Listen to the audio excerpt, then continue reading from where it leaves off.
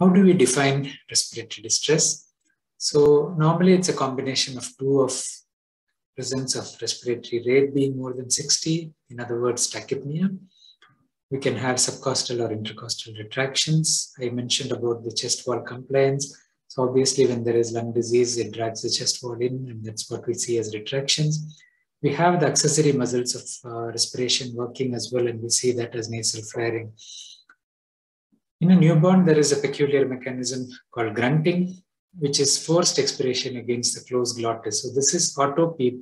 Baby tries to generate the positive end expiratory pressure to keep the pressure above the closing volume. So the functional residual capacity depends a lot on the lung staying open.